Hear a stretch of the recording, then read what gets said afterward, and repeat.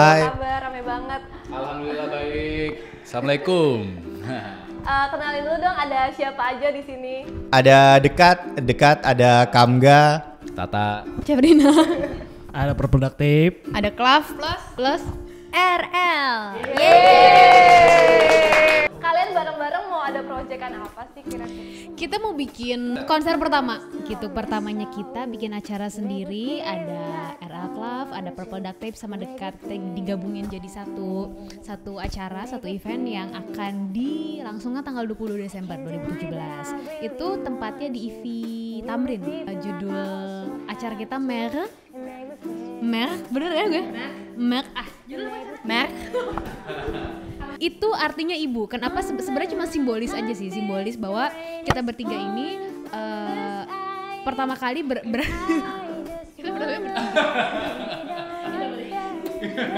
kita pertama eh, eh, bertiga ini pertama kali bikin acara. Jadi kan ibu itu kayak lambang eh, apa ya sumber gitu kan seorang anak akan awal mulanya gitu. Kita mau ngobrol sama yang sendirian kayaknya. Yang sendirian ada Purple Duct Tape. Iya. Eh, kenalin dulu dong, kamu tuh sebenarnya siapa? Terus tiba-tiba kenapa jadi Duct Tape? Padahal nggak purple ya hari Oh, ini. ini biru ya? Oke. Jadi gue kenalin apa dulu nih? Gue Nama, gue. Oke. Nama jadi asli gue nama Kiki. Rifki Alfati. Jadi gue pertama kali bikin project produktif itu tahun 2014 akhir. Jadi gue jadi awalnya gue nge-DJ nge-DJ nge-DJ nge-DJ sambil produce juga lagu-lagu hacep lah gitu, lagu-lagu klub. Terus gue ngerasa nggak nyaman aja sama musiknya sendiri. Akhirnya gue berubah konsep segala macam jadi nggak nge-DJ dari jadi nge-DJ dari live music tapi elektronik gitu. Gue main-main instrumen segala macam. Terus kenapa namanya Purple Tape? Soalnya lagu pertama yang gue bikin itu gue lagi nyetir macet-macet sendirian sambil dengerin lagu gue sendiri sambil nge-review kan. Pas denger, ih lagu gue warna ungu ya gitu. Udah gitu doang sih. Terus eh, sejak kapan sih lu mulai akhirnya fokus sama project lo ini? Dibilang fokus, gue dari awal fokus gitu kan tapi ya fokus-fokus gitu-gitu aja sih tadi ya gitu.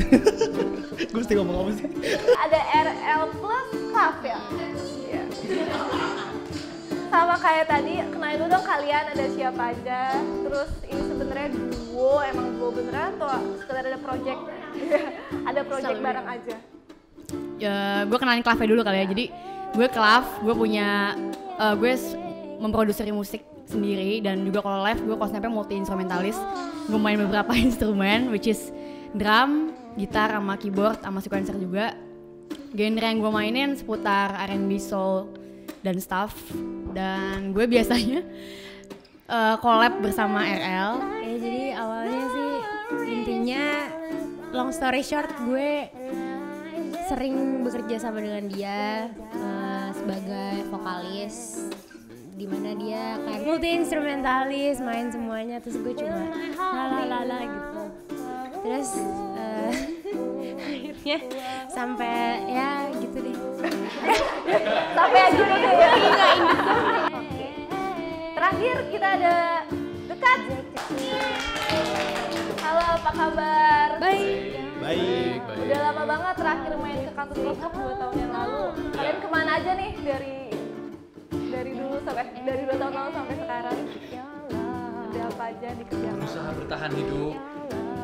Eh, ya inilah apa manggung-manggung aja mempromokan karya yang kita keluarin.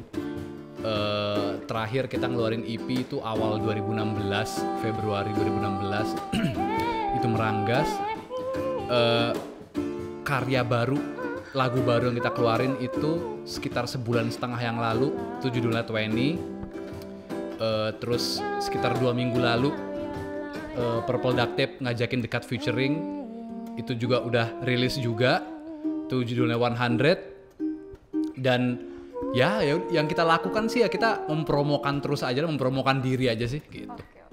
Nah, eh, kalau tentang single terbarunya yang paling baru kemarin itu yang 20 ceritanya tentang apa sih? Ceritanya tentang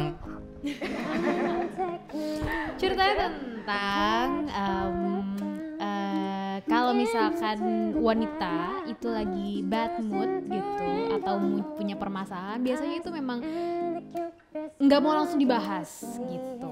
Dan sedangkan kadang lawan jenis itu suka mema- memaksa untuk langsung selesai hari itu.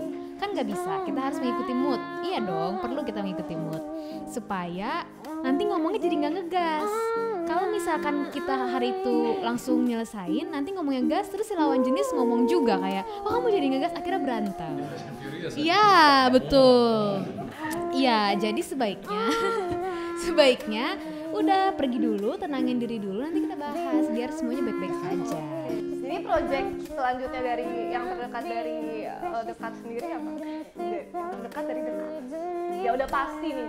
Bi- iya cuman nggak tahu akan berbentuk menjadi satu mini album kah atau album kah? Atau bahkan cuman lagu aja terus gitu. Belum belum ada ketok palunya ini akan dibalut dalam dalam satu wadah apa. Nah kalau ngomongin showcase kalian nih, itu showcase sebenarnya siapa yang memprakarsai kah? Terus tiba-tiba kalian muncul bertiga apa dari satu manajemen atau apa? showcase? Showcase tuh kenapa kita mau bikin showcase ya?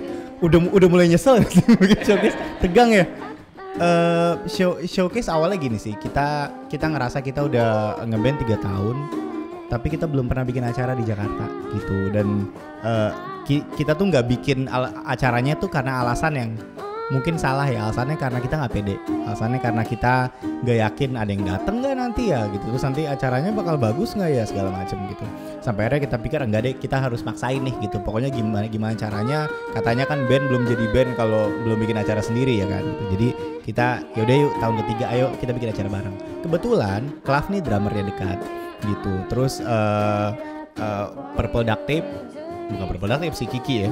Ki eh, Kiki ini eh, salah satu eh, apa em, krunya dekat gitu. Jadi kita emang deket gitu. Kita emang deket gitu. Terus eh, apa kitanya suka sama musiknya Klav, kita suka sama musiknya Productive. Terus kita terus kita mikir kan kalau kita bikin acara kenapa nggak kita ajak orang-orang terdekat ya gitu. Karena awalnya banyak orang yang bilang "U- udah lu bikin acara aja coba cari band yang mungkin gayanya setipe atau mungkin band yang namanya lagi besar misalkan gitu untuk bisa bareng bikin bareng. Terus cuma kita mikir kayak "Hmm, tapi kalau kita nge- ngerasa band yang agak mirip sama kita musiknya kita masih belum tahu siapa. Tapi band yang kita jelas suka musiknya dan sering jalan bareng ya Club sama Purple Duct Tape kenapa gak kita bikin acara bareng sama mereka gitu? Terus akhirnya kita buka lah gitu Eh, saking kita insecure kita bahkan gak yakin mereka mau ikut gitu. Jadi kayak kita kayak eh gue mau bikin acara nih. Kalian mau ikut nggak? Ternyata mereka mau gitu. Eh ayo bikin ya. Udah kita bikin acara ini bertiga aja gitu. Eh, terus udah deh akhirnya beneran jadi nih gitu beneran jadi ja- jalan kita udah jualan tiket gitu.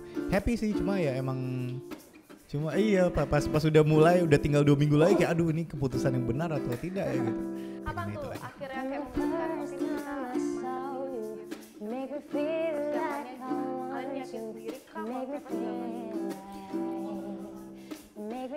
kita oke bikin itu pas kita ke EV sih jujurnya ya gitu. Kayak eh, awalnya kita kayak oh iya kita kita mau bikin showcase ya tempatnya kayak apa kita carilah keliling tempat segala macam. Sampai pas kita lihat auditorium di EV kita langsung kayak pengen dibikin acara di sini gitu. Atau ada bocoran jadi em, bu- buat yang buat buat yang masih belum punya bayangan musik kita gimana, mungkin pernah dengar dekat sekelibat tapi belum pernah nonton live-nya, eh, belum tahu Productive gimana, belum tahu RL Club gimana.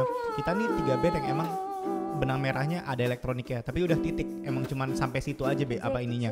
Eh, RL Club sih kalau menurut apa men- menurut saya pribadi sangat cocok ditonton sama yang baru mau pacaran dan dan yang lagi pacaran karena eh, musiknya musik musiknya sweet lah gitu. Terus juga eh, apa namanya mereka juga bakal banyak mainin visual em, ngambil dari film-film yang tidak kalah sweetnya gitu.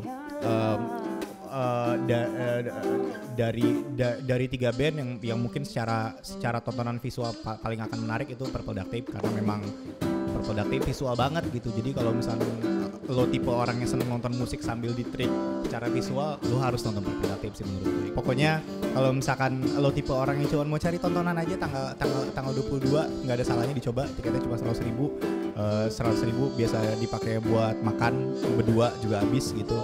Eh, dipakai nonton habis gitu. Eh, ini coba aja dipakai buat nonton musik ini nonton musik nonstop 3 jam eh, dengan eh, gini su- suka nggak suka akhirnya nanti suka ataupun gak suka sama acaranya eh, kita sih cuma bisa kasih satu janji kita serius banget soal soal acara ini. Jadi jadi nggak bakal tiba-tiba nanti main kayak "Eh, lagu apa lagi ya? Eh, apa ya? Gitu. Nggak kok kita kita kita kita bakal berusaha tampil sebaik-baiknya ke-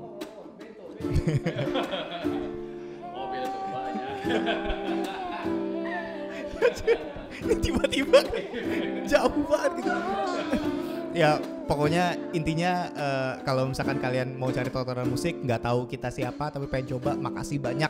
Kita seneng banget. Kita kita bikin acara ini karena kita pengen kenalan dengan proper. Kita udah berusaha kenalan sama banyak pendengar musik selama tiga tahun. Tapi mungkin ya karena apa satu dan lain hal mungkin kenalannya nggak kena- kenalannya masih belum tepat lah gitu.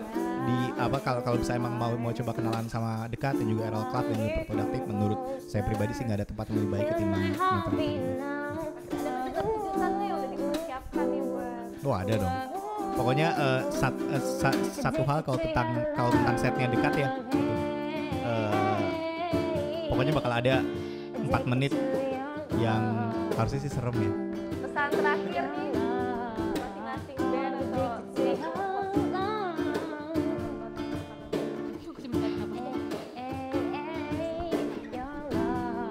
Hai, eh, saya Kamga mewakili teman saya Tata dan Chef. Em, kita mengajak kalian buat datang ke MET di IVI Tamrin Jakarta tanggal 22 Desember 2017. Iya itu hari Jumat eh, ganjil genap, jadi sebaiknya datang em, sebelum jam 6 lebih baik atau datang jam 6 pas juga supaya bisa pilih pilih pilih kursi yang paling enak nontonnya di mana segala macam. Eh, kedatangan kalian akan berarti sangat besar buat